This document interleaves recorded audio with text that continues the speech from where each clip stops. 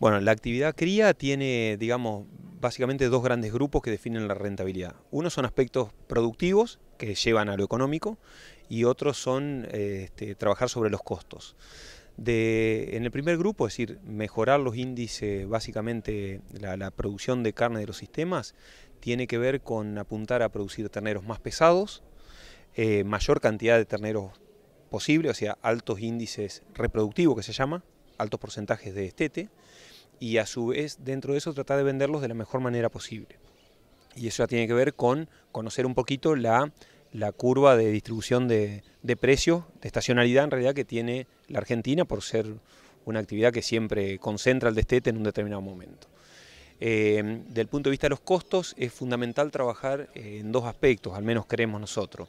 Uno, en la productividad del personal abocado a los planteos ganaderos.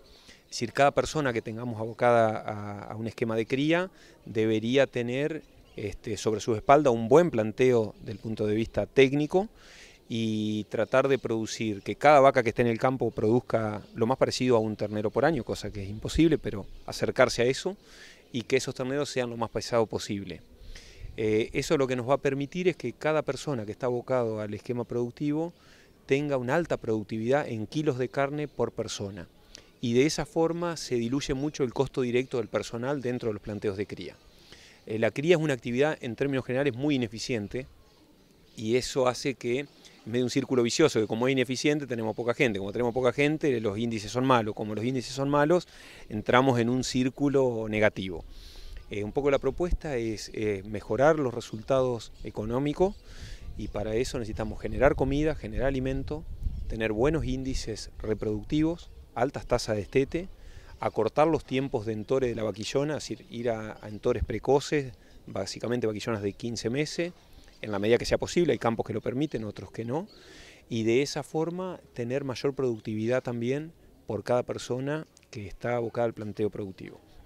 Eh, de esa forma se bajan, se reducen considerablemente los costos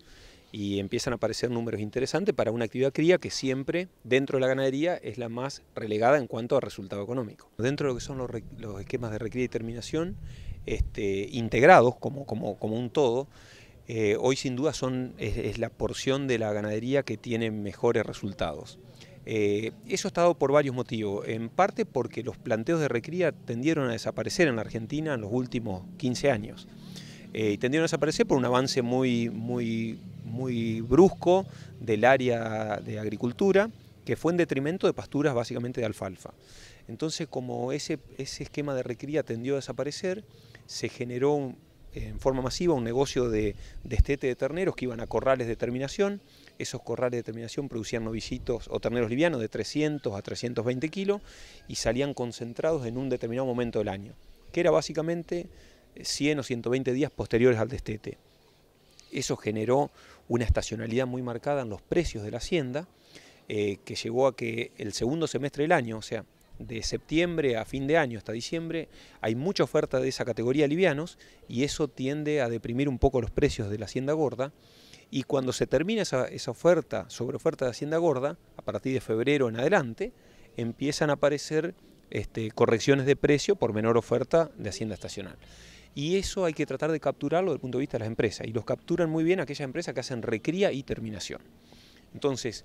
eh, si vemos los resultados de los últimos años, estos planteos que recrían y terminan, respecto a aquellos que solamente hacen terminación,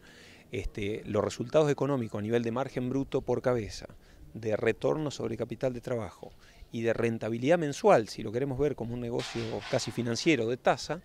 este, genera resultados mucho, mucho mayores. En la medida que más largo es el proceso de recría,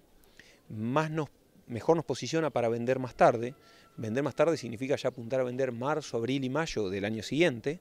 eh, vender más pesado, y como en ese momento hay menos oferta de gordo, el precio del animal pesado no cae tanto respecto al liviano, con lo cual se han obtenido este, resultados más que interesantes y en la medida que, como decíamos, más larga sea el proceso de recría, mejora el resultado económico por cabeza.